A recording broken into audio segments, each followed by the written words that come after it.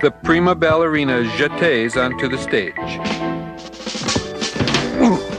The Olympic gymnast finishes his routine with a full back layout. Here we are in the final round of the World International Hopscotch Competition. Uh, Garfield, why why can't you just nuzzle like other cats? You deserve better.